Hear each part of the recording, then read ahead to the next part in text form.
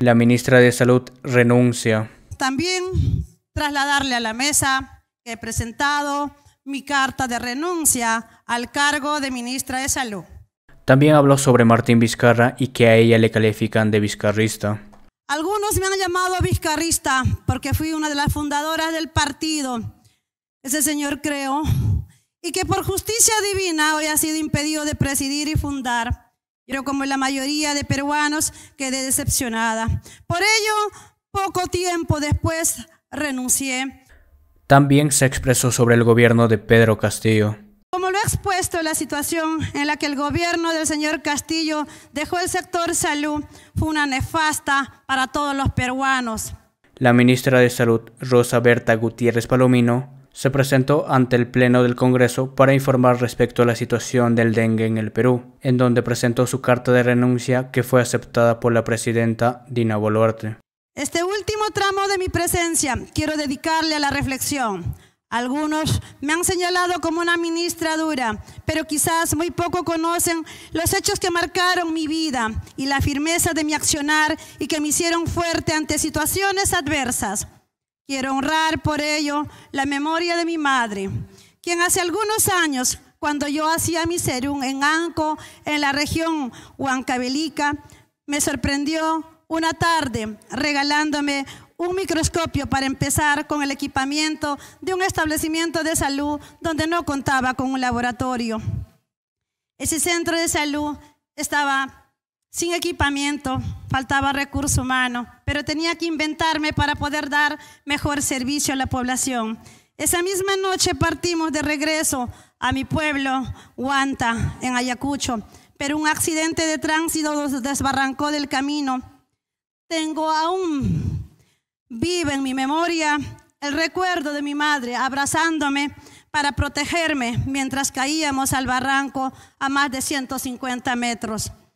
Cuando pude recuperar el conocimiento y darme cuenta de la pesadilla en que estaba en ese mismo momento, fui a ver a mi madre, pero aún sentía su latir y quería salvarla a ella. Aún herida yo y mi madre Pedí mucha ayuda esa noche y me ayudaron y me trasladaron al centro de salud de Mayo.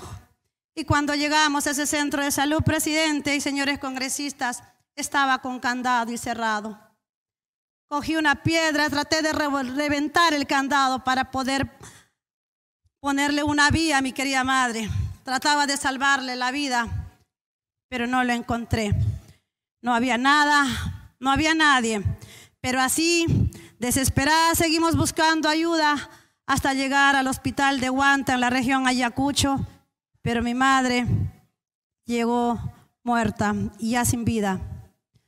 Son recuerdos como si fuesen ayer, pero eso me tiene aquí con ese ímpetu de, querer servir a mi patria. ¿Quién podía imaginarse que en el día que ella donaba equipos a un laboratorio del Estado para salvar vidas, esa misma noche, la ineficiencia del Estado me arrebataba la vida de mi madre.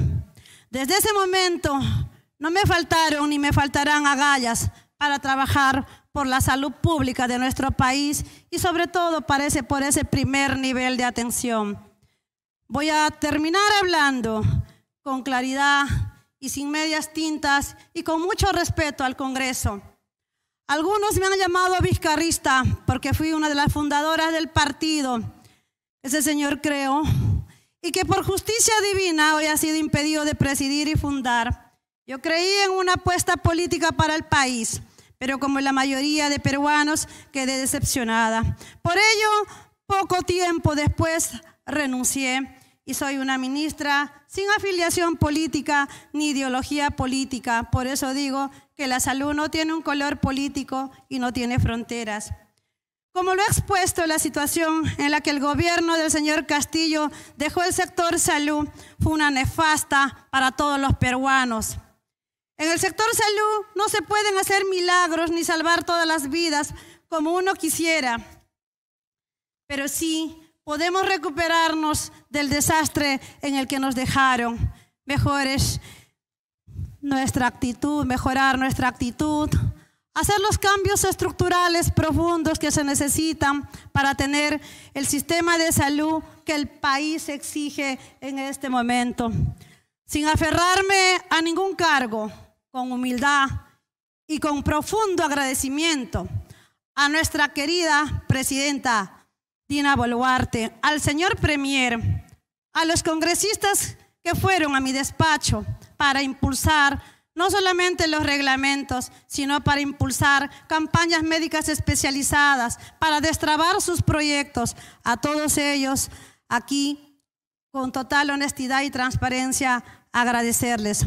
Me comprometo a seguir trabajando por ello en cualquier escenario que Dios y la vida me presente. Lo haré siempre en honor a mi señora madre y a mi querido país.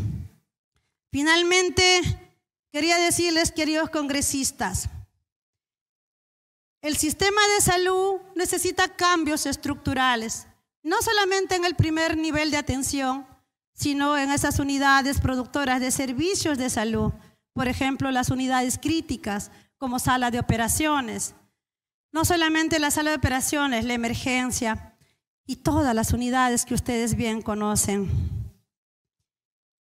Querido pueblo peruano, como yacuchana me tienen acá, poniendo el rostro, poniendo en mi condición de mujer, mamá y papá. Pero sin embargo, debo decirles que tal vez debía acelerar mucho más este trabajo e intensificar, pero debo decirles que donde esté voy a servir a mi región y a mi patria.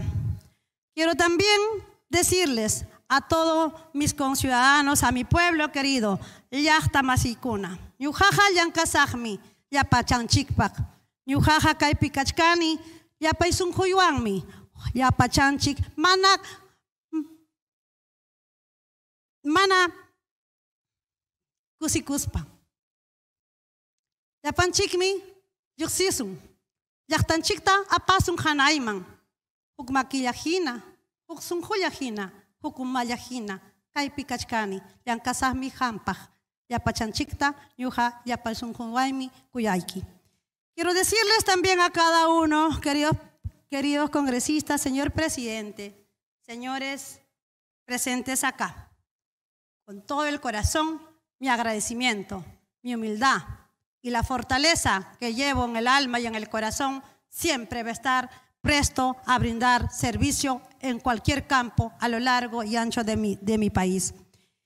Quiero también trasladarle a la mesa que he presentado mi carta de renuncia al cargo de ministra de Salud. Solo espero que quienes escuchen estas palabras sin la pasión de los intereses políticos vean en mí un pequeño ejemplo de dignidad, de honor, de coherencia, de humildad y amor por el país. Como médico me he formado para ofrendar la vida cuando ésta me llamara amo a mi país, amo a mi sector y saludo a todos los profesionales de la salud, a los agentes comunitarios que me ayudaron, a cada uno de ustedes, querida familia peruana, a mis familiares. Digo familiares porque no hay nada más bonito de llamarles familia peruana. A todos los del BRAE, que seguiremos trabajando. Vamos a impulsar el sector salud. Haremos Sugeriremos cambios estructurales para nuestro país. Y aquí estamos como un solo corazón, como una sola mano, en un solo pensamiento, para que se enrumbe mejor nuestro país. Muchas gracias a cada uno de ustedes, mi agradecimiento y apostemos por un país, Mana Chignicuspa, con humildad, con amor, porque el país nos necesita a todos, nos necesita unidos, el país no quiere mayor confrontación. El país nos quiere ver unidos. Y en ese escenario sigamos trabajando con ese ímpetu. Aceleremos los procesos y entreguemos las herramientas necesarias que el Congreso también tiene que darle para que los gestores en salud puedan seguir destrabando los proyectos detrás de un cemento, detrás de esos ladrillos. Más que todo eso, hay una persona, hay un paciente hay una familia que espera con todo el corazón. Nuevamente ustedes, muchas gracias. Gracias, Presidenta. Gracias a cada uno de ustedes. Buenas noches. Bien. Gracias, señora ministra.